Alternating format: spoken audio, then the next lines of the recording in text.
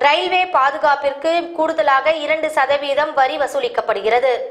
ரயில்வேயில் பாதுகாப்புக்கு கூடுதலாக வரி விதிக்க மத்திய ரயில்வே அமைச்சகம் திட்டமிட்டுள்ளதால் ரயில் கட்டணங்கள் லேசாக உயர வாய்ப்புள்ளதாக மத்திய ரயில்வே அமைச்சர் சுரேஷ் பிரபு தெரிவித்துள்ளார். ரயில் பயணிகளின் பாதுகாப்பை பலப்படுத்தும் தண்டவாளங்கள் பராமரிப்புக்காகவும் ரயில் கட்டணத்தில் இரண்டு இரண்டு சதவீதம் ரயில் கட்டணத்தில் இரண்டு சதவீதம் கூடுதலான செஸ் வரி மற்றும் விதிக்க மத்திய அரசு முடிவு செய்துள்ளது.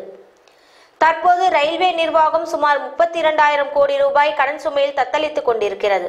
இதனால் வேறு வழியின்றி பயணிகளின் பாதுகாப்புக்கான கட்டணத்தை பயணிகளிடமே வசூலிக்க வேண்டிய நிர்பந்தம் ரயில்வே துறைக்கு ஏற்பட்டுள்ளது.